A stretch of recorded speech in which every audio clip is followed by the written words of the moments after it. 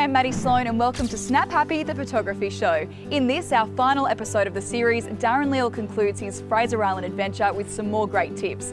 Peter Eastway gives us some insight into his post-production workflow and we meet landscape guru Ian van der Wolde and so much more.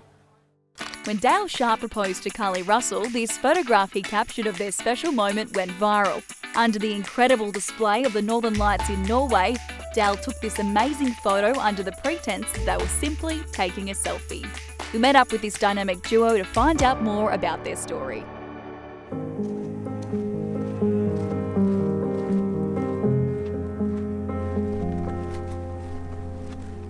This morning we rolled out of bed nice and early. We've come down here pre-dawn and we've made our way down from the car park down to the Fingal Causeway. The causeway is just absolutely spectacular for photography. The aim of this morning, I think we're trying to get just a nice long exposure just to froth out the water and hopefully we can get some nice light when the sun comes up. The rock formations are like nowhere else, probably in the world. Um, Ireland, I think, is the only other place that has a causeway like this with these basalt columns and they just look incredible for landscape photos and I think that's what you're looking for when you're doing landscape photography is you're trying to find unique locations to you know create really dramatic photos. There was the water movement to the left of the scene. There was the causeway itself which was causing the leading line and then there was the sky which was impact as well. For me it's a really unique location. You've got the basalt columns and the water gushing through, it's just, it allows you be, to be creative when you're doing photography here. You have Cook Island in the background and the, the sky's just the icing on the cake. So it's just the perfect place for landscape photography. Yeah. We like to capture it as much as we can in camera and that's why we like using uh, filters. I mean, using a graduated filter and being able to balance exposure, you can see the results straight away. I think we originally wanted to use the six stop, try and get some like a long exposure to sort of flatten out that water, but I think we actually quite like the, the bit of textured water movement. I think it actually worked really quite well, didn't it? It ended up just being um, half a second yeah. when we were shooting, just so that we could see the cascade, and yeah, it worked out perfectly. Yeah. It's been great working together because there's some advantages to having a different person's opinion. I think it drives both of us to be more creative. There's a little bit of healthy competition between us. Dale likes to think that he's the better photographer, am, but no, we all know it's me. so, DK Photography, what is it all about? It's about shooting landscapes, enjoying it together, and also we run workshops that are international. Yeah, we do a lot of workshops overseas. We absolutely love it. We have a really big passion for teaching others. So how did you guys begin working together? We, we met online dating, which isn't really cool. We don't like to remind people of that. uh, but we've, we've, uh, we both had a passion for landscape photography and uh, our love sort of just flourished from there, didn't it? Yeah, we actually went out shooting and we shot a sunset together and it just Was that first date? Yeah, actually, I think it was. Yeah, it actually yeah, was. First date. and tell us about that photo. Oh, the engagement photo. Yeah. He acts like it's nothing. Oh, that's just that one. just the one that went viral. Well, Karlie threw the ring in the bin. Um, oh, the first ring, yes. Yeah, the first ring. We were trying to fly between Iceland and the Faroe Islands, and as we went from one to the other, uh, we had to cut some weight down, and I had it hidden in a bag, and she threw it.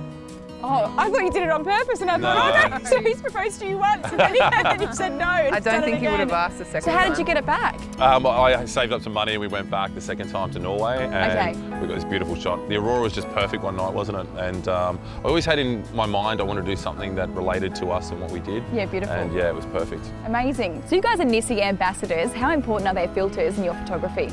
They're absolutely imperative for our photography. They help us with our um, basically on every single shoot that we go out on. And as ambassadors, we love the brand and the products that they have. So how are you incorporating it into your landscape shoots? It allows us to be quite creative with our workflow. So, you know, being able to slow down time, being able to get really creative and moody shots. Nice. And what is it about landscape photography that is so important to you and why do you love it? Uh, I think diversity, um, capturing moments that people don't get to see. It's, it's definitely, it's encouraging others to get out there and see nature. So we, we just, we love all sort of uh, facets of uh, landscape photography, whether it be aurora, landscape, seascape, cityscapes, we love it all. There is just, it's just unlimited. And speaking of landscapes, you guys have been everywhere and to some amazing places. What are some top three? Give me top three highlights. Ooh. That's a hard one. Iceland is one of my top. um, just because of the diversity of what you can shoot there.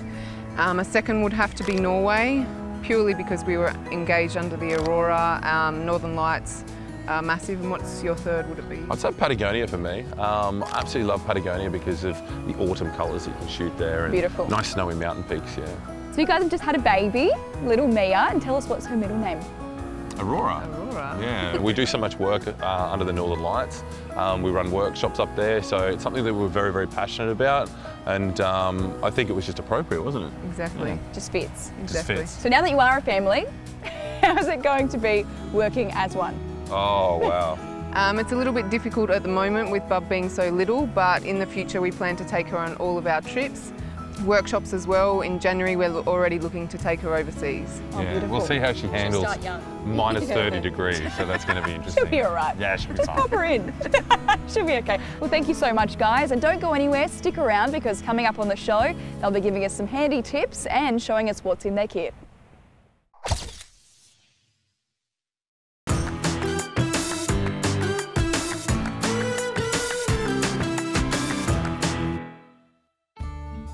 Hi, I'm Peter Eastway and one of the challenges landscape photographers have is keeping that sky under control. Often it's a little bit too light.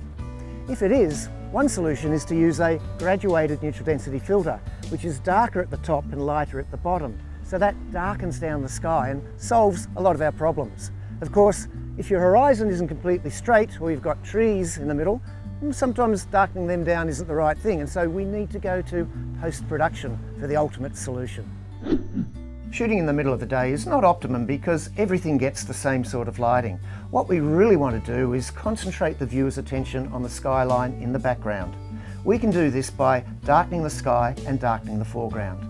Lightroom has the graduated filter up here. If we click on the graduated filter, if we're going to darken the sky, click and drag down and you'll see the effect happening on the screen in front of you. We then come over to our adjustments, we just reduce the exposure down a little bit and that darkens that sky. Now, I get into trouble because sometimes I like to go really dark and moody and my friends say, hey, that doesn't look natural. So how much you darken it is totally up to you. When you're finished, press done. If the sky's looking good, what about that foreground? It's a little bit light as well. So we're going to use the same tool, the graduated filter, and we're going to click and drag up this time and you can see where it's going.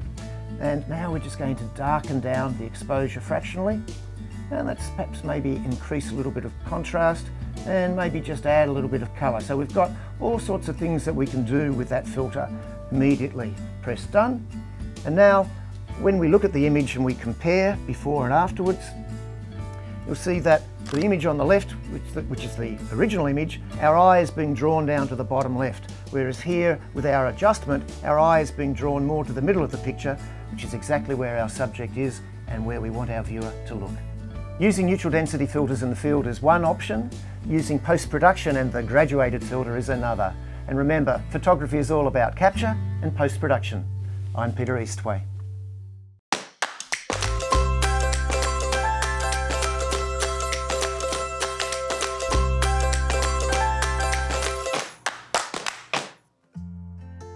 Hi, I'm Dale, And I'm Karlie and we're from DK Photography. and this is what's in our kit. Oh, look, it's our baby girl. Oh, she's so happy. But seriously, as much as I'd love to have my daughter with us shooting all the time, this is what's really in our kit. I use the Nikon D850 and I love this because it's robust. I love the weather sealing when I'm traveling overseas in the Arctic in cold conditions. And what I really love is its dynamic range uh, and it's high megapixels. For me, I prefer the Z7. Um, it's a little bit more lightweight and compact. In terms of filter holders, um, I love shooting with the 14 to 24, the wide angle, and I use the NiSi S5 system. For me, I've got the V5 Galaxy system here, um, and I'm shooting mostly with the 16 to 35 mm lens. When it comes to filters, I suppose the one that I love the most is the 0.9 medium grad ND. And what I particularly love about this is when I do a lot of storm chasing, it does a really good job of balancing the overexposed sky with the uh, foreground. Um, for me, I prefer doing long exposures, so I have both the 6 and the 10 stop. Um, I like to create images that have streaky skies or silky smooth water.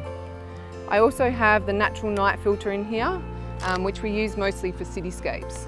And every photographer needs a really good sturdy tripod. Um, we travel to the Arctic a lot, so we use the Sirui tripods. I love this one because it's nice and sturdy and uh, it's weighted down, so on those windy days, this is perfect for me. For me, I prefer something that's a little easier to hike with. This one is nice and light and you can just weigh it down with your camera bag. So we're DK Photography. And that's what's in our kit.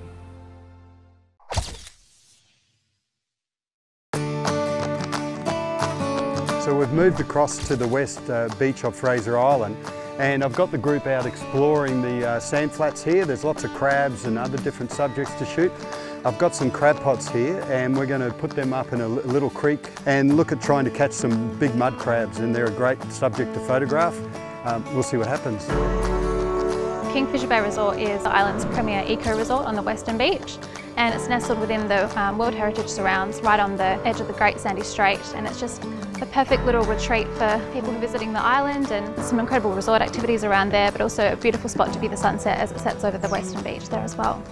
We've got a lot of different environments here at Kingfisher Bay Resort and we're looking at the waterholes and they're a natural attractant for birds. So we've got birds like swallows that are actually picking up mud at the moment. Some of the guys are trying to shoot the swallows on the wing picking up water which is a very difficult shoot to do and we're trying to get some white-cheeked honeyeaters sitting on banksias and things like that. So a lot of it's difficult but again if you sit and be patient you can get some really great results.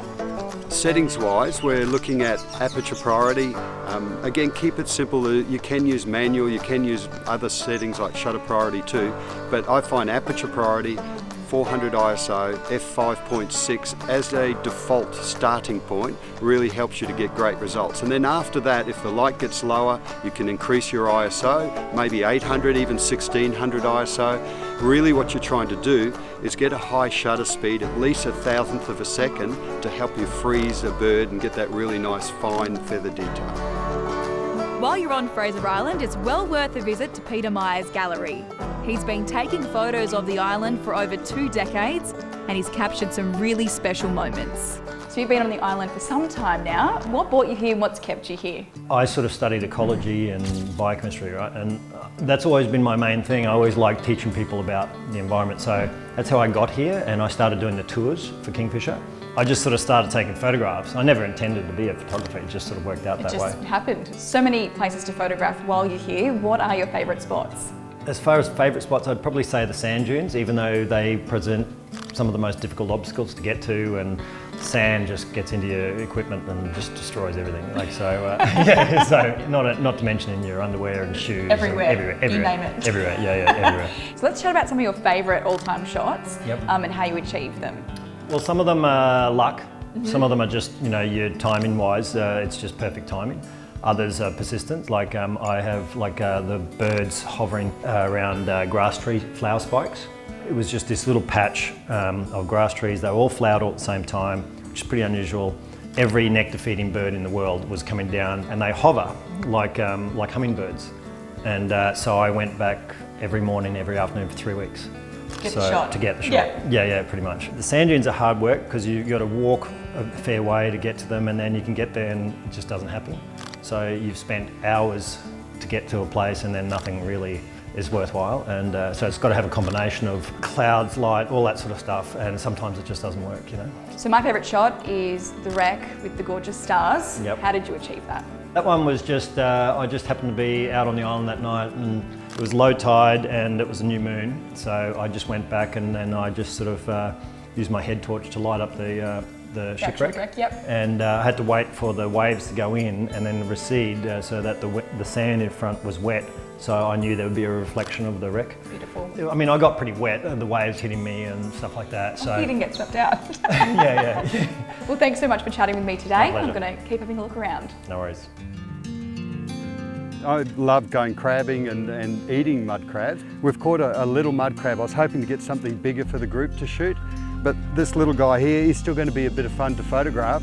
So we'll go down and near the jetty at Kingfisher there and take some photos. I tell you now, if she bit me, I'd be screaming and crying at the same time. So, so I'm going to not let that happen. And when it gets really soft pastel colours, it's a really cool shot with fill flash. And like the Nautilus, what you do is you shoot the crab aiming to focus on the crab with the sun as a backdrop. This is a great opportunity to shoot a broad range of, um, of environments. Um, I have to say that my passion is for the wildlife, so the thing that we're doing now is we're shooting uh, a crab on the beach, uh, but we've also been photographing dingoes, eagles, and so uh, and that's really been my favourite uh, aspect of this week. Thanks for joining us here on beautiful Fraser Island. We finished the day shooting a mud crab. We're now off to the bar for a well-earned drink. I think what draws me to landscape photography is that uh, I spend my weeks fulfilling other people's briefs. Uh, landscape photography is where I can go out and do what I want to do without a brief, clear my head. It just gives me time to stop and, and, and take stock of everything that's happening in front of me and think about life and solve the world's problems, basically. I'm, I'm looking for a scene, I suppose, that is simple, that has a nice graphic element to it. What I'm trying to capture is the serenity of the place. We're here in St Kilda, there's traffic buzzing away, but it's actually quite serene behind us. There's a couple of small jetties and piers behind me. I know uh, they're very, very easy to photograph, but I want to try and photograph them in a slightly different way to what I have in the past anyway all of the, the rules of composition are going through my head, you know, whether it be leading lines or rule of thirds or Fibonacci or, or anything really that I think is going to create a nice shot. Uh, it's probably a bit flat this morning. Um, normally uh, I would like there to be a little bit more detail in the sky because with a long exposure it's that detail in the sky that will, that will move, that will give us that texture. Um, I'm, I'm scared that today it might just flatten out a little bit, but we'll take it and see how we go. I might be able to bring some of that out with some contrast later. The technique that I use is, is a long exposure. So I slow everything down and it creates a sense of calm, of well-being. And, and that's really what I'm looking for, what I'm trying to extract out of the scene. My philosophy in the way that I work is still to get it right in camera and do minimal post-production. I generally convert to black and white. I use my colour channels in, uh, in the black and white process and that's where I really like the Fuji. It has really beautiful colours. So even though I'm producing black and white images, the colours are really important to me because I can tap into those colour channels to bring out contrast and make areas darker and lighter the frame just by, by uh, controlling the certain channels of colour. My first foray into Fuji cameras was with the X100 and what I really loved about that camera was that it was light, it was compact. I thought this is a great camera, I just wish I could change lenses on it. And then they brought the X Pro 2 out. So I invested in that kit and that became my travel kit of choice. And now when I travel, I bring a couple of Fuji X Pro 2 bodies with me and just three lenses that cover pretty much everything that I need. And in a small camera bag, I can fit that entire outfit and it weighs little more than a digital SLR with one lens on it. So I tend to take it with me everywhere. For travelling, I could not think of a better system. I have a library of images there that are memories that take me back to a certain time or place. But I also like that with photography, I can photograph something today and by the treatment, by converting it to black and white, it actually becomes timeless. It could have been taken at any point in time. So as landscape photographers, we love to travel the world. And one of our favourite places to shoot is here on the Gold Coast. We're here today at Surfers Paradise and we've got this beautiful cityscape behind us. Conditions are quite moody today. Um, we've got a little bit of overcast, low cloud and a little bit of high cloud as well. We don't have as much light to work with at the moment, but due to it being a little bit moody and overcast, we're going to go for some nice long exposures to create some drama. We've also got that beautiful reflection that you can see happening there. I think a really important thing when you're doing photography is to take your time when you go to locations, it's nice to stand there and look what the light's doing, be patient with the light as well. Sometimes the best light can happen straight after sunset, it can happen just before. Uh, I tend to sit around and I'll keep shooting even into blue hour just to see what can happen. Sometimes you get those really rich, deeper colours and they can occur often, you know, 15 to 20 minutes after sunset. And today I'm taking the circular polarizer off because in this shot we've got this beautiful reflection and creatively we don't want to actually remove that in the image so we want to take that polarizer off. So at the moment I'm using the medium grad filter from NiSi and the way that these filters work for those who don't understand The filter is designed to actually balance the exposure of the overexposed sky with the foreground. So you get an even amount of light in both the top and the bottom of the actual frame. As you can see on the back of the LCD screen, as we bring that graduated filter down, it starts to balance that part of the sky here that's overexposed with the foreground so that they match each other and the, the reflection is going to look 10 times better. So I hope those tips were helpful. Yeah, I think we got a pretty good shot this afternoon. I mean, it was challenging, but we got there in the end. And you guys can find us on Facebook or Instagram, we're DK Photography. See you next time, guys. Thank you. Thanks for joining us on the show today. If you want to join the Snap Happy community, head on over to our website at snaphappytv.com. There you'll find exclusive content, competitions and special offers from all our partners. Thanks again for joining us on Snap Happy, the photography show.